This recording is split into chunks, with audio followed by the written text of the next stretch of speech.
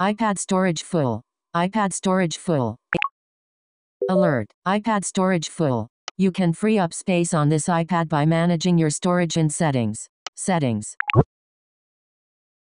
Screen recording in progress. Button. Screen recording in progress. Button.